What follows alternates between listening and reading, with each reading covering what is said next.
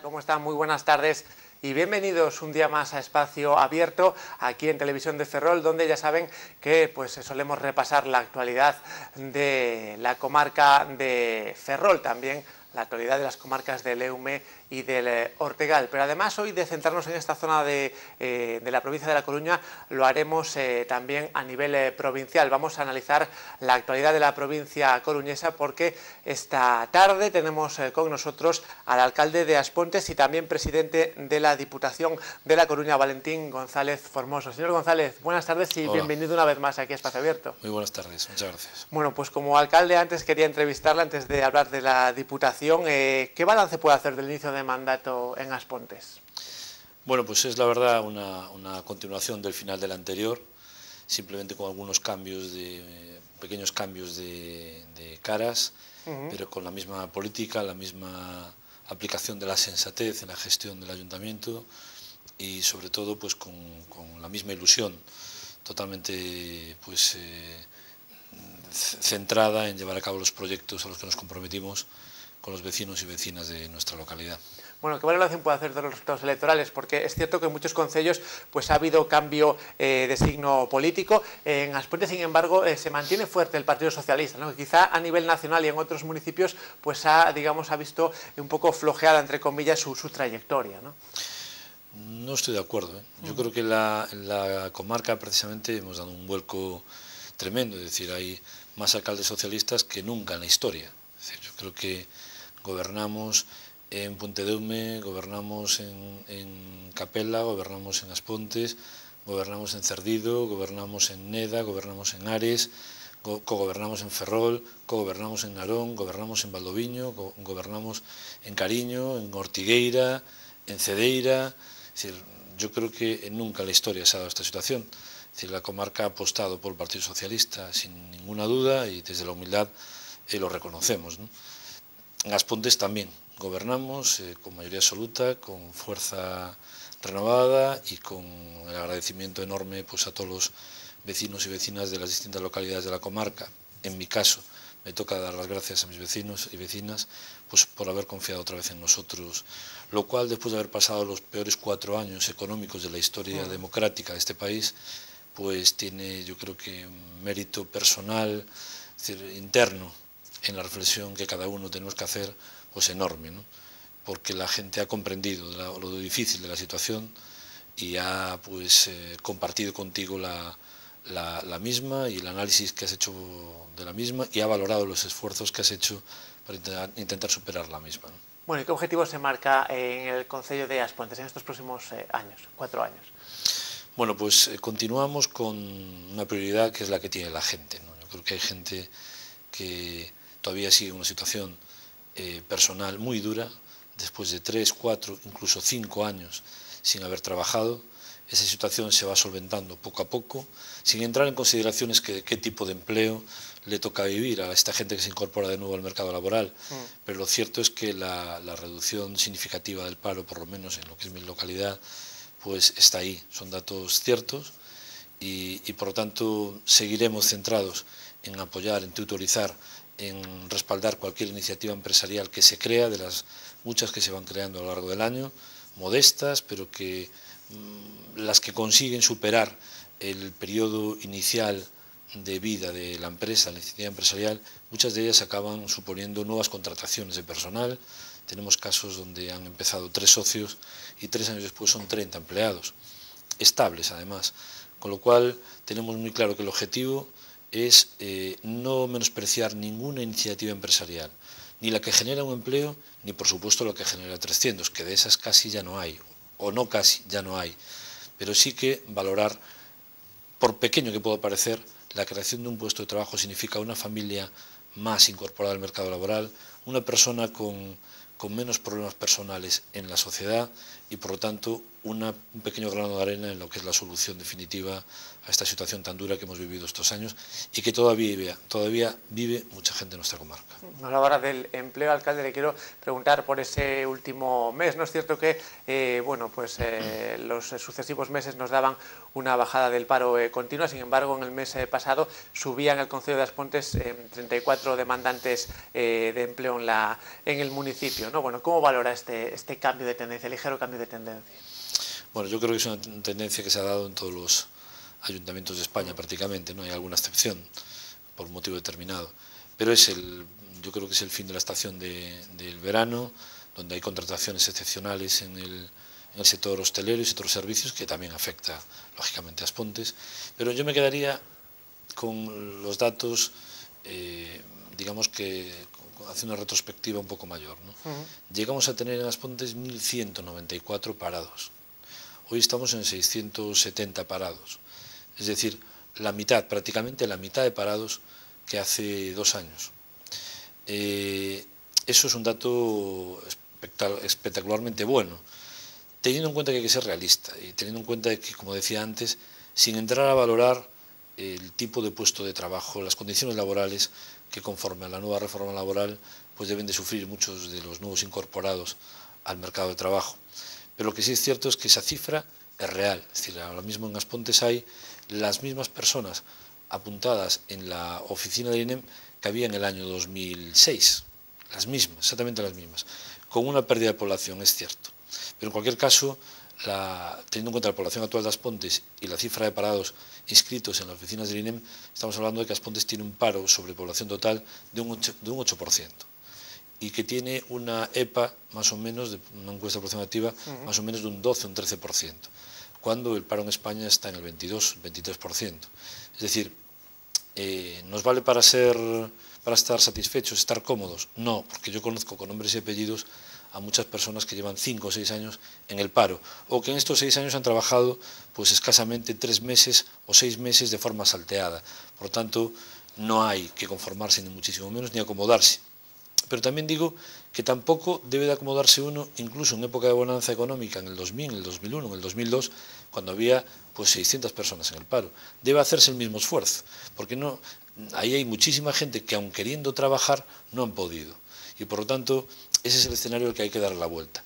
La única manera es, lógicamente, teniendo en cuenta que nuestras competencias son las que son, nuestras posibilidades son las que son, es como mínimo convertirnos en aliados de aquellos que, creen, que quieren crear actividad en aliados y soportes de aquellos que quieren crear empleo y crear empresas y por lo tanto generar dinamismo en la sociedad. no convertirnos en una molestia para esas iniciativas. Y con la cantidad de burocracia que hay, con la cantidad de normativa que hay, que ni siquiera en época de crisis se está solventando, sino que está aumentando, pues yo creo que cada vez nos lo pone más difícil y a pesar de eso a los alcaldes y alcaldesas de la comarca nos queda un papel por hacer en ese terreno, que lo tenemos muy asumido, que estamos muy concienciados, que lo compartimos cuando nos reunimos entre nosotros, pero que en cualquier caso otras administraciones que son menos permeables a estas situaciones, que lo viven menos personalmente porque no conocen a los vecinos, pues deberían de tomar nota y ser más ágiles en la búsqueda de soluciones y como mínimo tener claro que el objetivo debe de ser no convertirnos las administraciones en un problema para aquel que debe y pretende arriesgar su dinero, su patrimonio, su situación personal y a veces familiar por generar actividad y generar empleo. Bueno, si hablamos de empleo y de mercado laboral, no podemos escapar, alcalde, de una realidad en Aspontes como es la de la existencia de la central térmica. ¿Qué peso tiene en el mercado laboral la central en Aspontes? Bueno, la central térmica eh, no es ni mucho menos, no es ni sombra de aquello que fue en sus tiempos, donde había pues miles de empleados en, en todo el complejo minero eléctrico, entre la mina y la central eran miles de empleados, hoy se ha reducido pues, considerablemente el número de personas vinculadas laboralmente directamente al complejo. ¿no?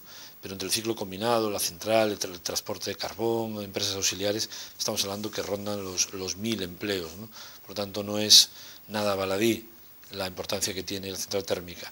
Sigue siendo una referencia de estabilidad laboral, sigue siendo una referencia de cumplimiento de lo que son pagos a proveedores, pagos a empleados y por tanto es una referencia también para el ayuntamiento importante en eh, la, incidencia tributaria que tiene este complejo respecto a la gestión económica del ayuntamiento. Es muy importante, es un porcentaje elevadísimo que nos permite tener unas cuentas saneadas, con deuda cero, no debemos ni un céntimo a nadie, eh, con remanentes económicos que rondan los 4 millones de euros y que nos permite, por lo tanto, hacer políticas expansivas de inversión que han ayudado, aunque humildemente, a reducir esas cifras de paro y que además tienen en cuenta pues, eh, el sostenimiento, lógicamente, de las políticas sociales, políticas públicas que para nosotros son bandera en el Consejo de las Pontes. Bueno, hay que hablar también, eh, alcalde, de ese esfuerzo que se está haciendo porque la central se adapte a la normativa europea de, emisiones, ¿no? Se sigue trabajando en esa línea. Sí, evidentemente para nosotros es clave, por lo que acabo de decir, por el papel que juega eh, Endesa en todo el territorio, es clave mantener ese centro de trabajo. Em, Endesa pues, ha hecho público ya, eh, a través de su consejero delegado, la intención de adaptar la central térmica a la Directiva de Emisiones Industriales, que lo que hace es establecer una serie de parámetros siempre a la baja en las emisiones de, eh, nitrógeno, azufre y partículas. a pesar de haberse hecho un esfuerzo inmenso en el año 2004, 2005, 2006 con una inversión de 200 millones de euros, que supuso una reducción de un 98% en las reducciones de SO2, de, azufre a la atmósfera, y de un 11,5% en, las emisiones de CO2 también a la atmósfera. A pesar de eso, una nueva directiva que entra en vigor obliga a gastar ahora del orden de 260 o 280 millones de euros para adaptarse a la misma. Por lo tanto, es un poco lo que volví a decir yo antes. Después de haber reducido Endesa, para que la gente nos entienda, el nivel de partículas que emite al aire de 4.000 eh, miligramos tonelada que permitía la normativa antigua en el 2004 a 260 que hoy emite, ahora hay que gastarse otros 260 millones de euros para rebajar 60 miligramos por tonelada. En, un escenario donde la demanda ha caído enormemente, demanda energética, en un escenario donde los precios de la energía, a pesar que el, ciudadano nota todo lo contrario por la política fiscal del gobierno de haber incrementado los impuestos considerablemente a los peajes que pagamos, a los peajes por término de potencia fija, a los, consumidores, a los impuestos con los que se han grabado a las distintas tecnologías, a los impuestos que se han grabado a la producción de energía eléctrica, al almacenamiento de carbón, etc. Todo eso hace que la factura que se pague de la luz sea desorbitada, desorbitada y que se coma una muy buena parte de los ingresos de una familia. Pero en cambio, el precio de la energía ha caído. Es curioso, el precio de la energía ha caído enormemente, pero el precio que pagan los ciudadanos eh, ha aumentado casi un 100% desde el año 2006. Por tanto, este es el país que tenemos, es la sin, sentido que tenemos después de unas políticas energéticas muy erradas por parte de los distintos gobiernos y en cualquier caso, en este escenario tan difícil, le toca a Endesa pues eh, decidir si vuelve a gastar 280 millones de euros para reducir, como decía, casi de forma imperceptible para el medio ambiente eh, pues, eh, esos parámetros a los que yo aludía. Endesa ha dicho que tiene intención de transformar esta central de nuevo, pero en cualquier caso forma parte pues, de un escenario de plazos que marca la Unión Europea en sus, en sus normas y que marca el propio Ministerio de Medio Ambiente también en las suyas, a través de un Real Decreto, donde da un plazo de margen hasta el año que viene para que definitivamente se eh, decida si se adaptan las centrales térmicas o no en todo el territorio nacional. Me hablaba antes, eh, volviendo al, término, al terreno político, de la mayoría absoluta del Partido Socialista eh, en Aspontes, que le permitía gobernar digamos, con cierta tranquilidad. No así, y ahora ya cambio de terreno, en la Diputación, donde el Partido Socialista ha tenido que patar con el, con el BNG. ¿no? Bueno, ¿Qué balance puede hacer de este, de este pacto hasta el momento?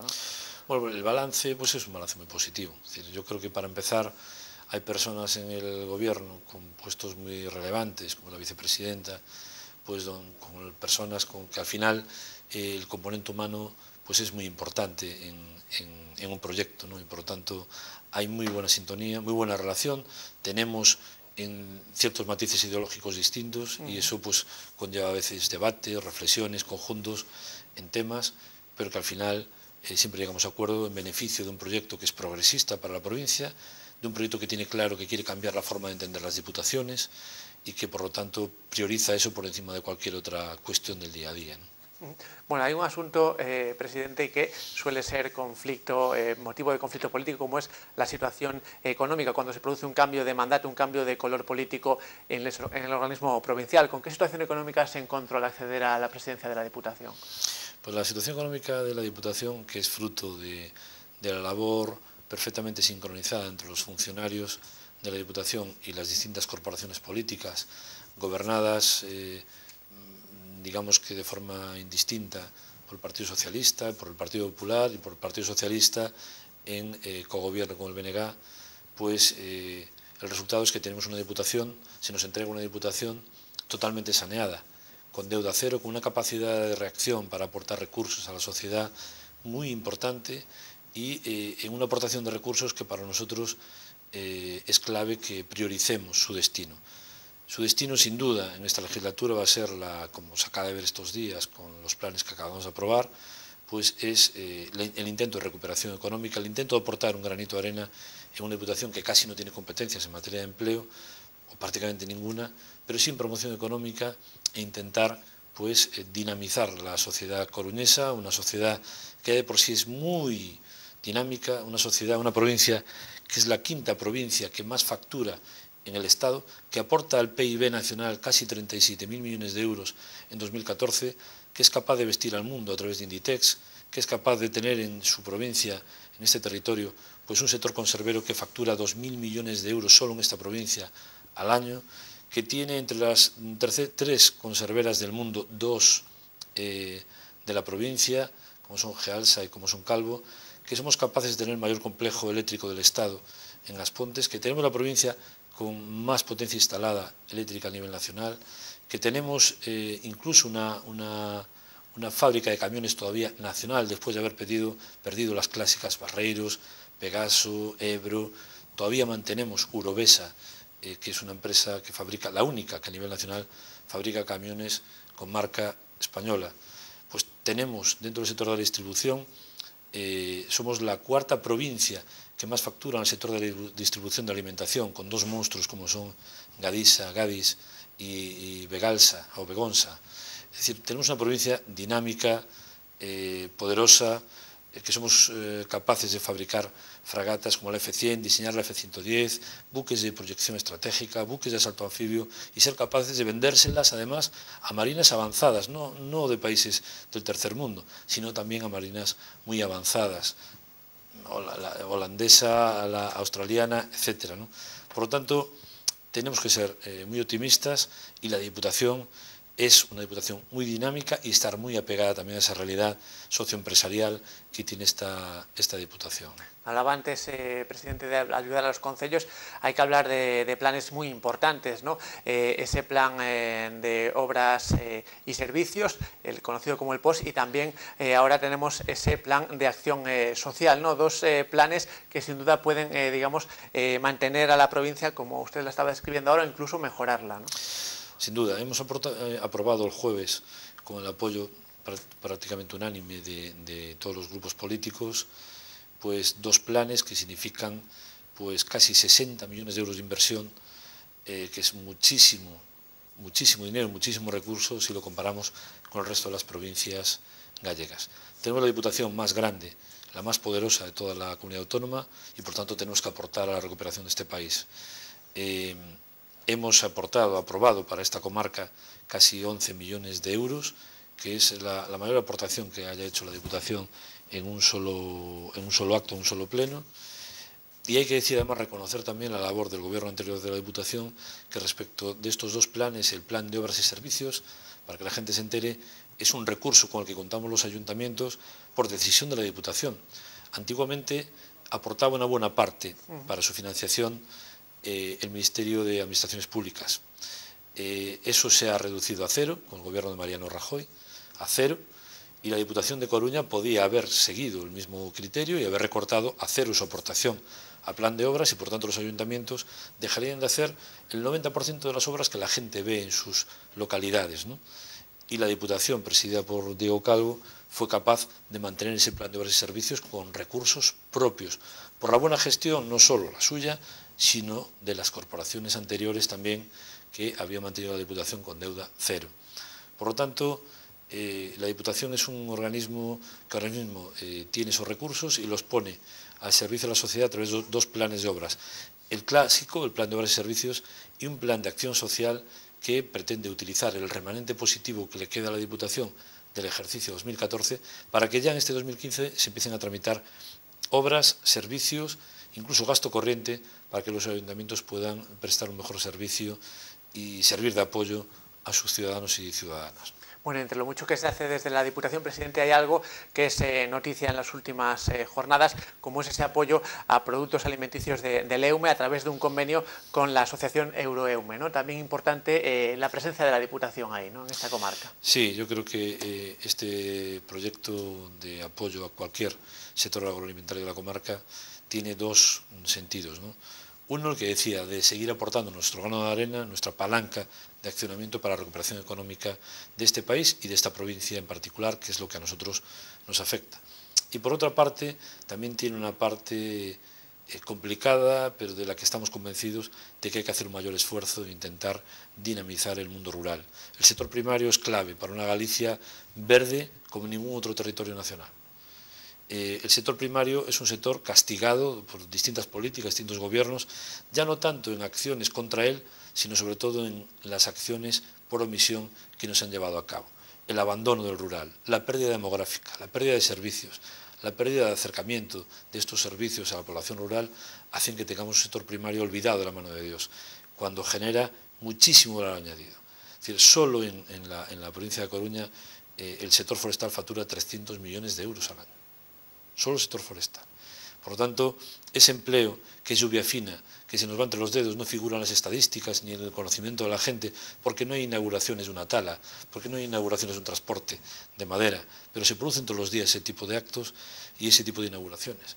Por lo tanto, es un sector clave, el sector lechero, el sector lácteo, el sector forestal, el sector eh, de transformación de estos derivados del sector primario son claves y por lo tanto en este caso el, el apoyo a la marca de productos de Leume, el apoyo a la agroalimentaria de, de Leume que pretende intentar reducir los costes de intermediación entre los productores y el consumidor final, lógicamente la Diputación, dentro de su área de promoción económica, tiene la obligación de apoyarlos y así lo ha hecho. Bueno, pues sin duda importante este y otros eh, proyectos en los que está presente siempre la, Diputación. Bueno, alcalde de Aspontes y presidente de la Diputación de La Coruña, Valentín González Formoso, ha sido un placer tenerle otra vez aquí en Televisión Ferrol. Gracias por haberlo Para mí también, muchas gracias. Y a ustedes también, gracias como siempre por su atención y ya saben que pueden ver este y otros programas en nuestro canal de televisión a la carta de YouTube. También nos pueden seguir a través de Facebook e incluso en Internet en directo. Estamos en la web tvferrol.com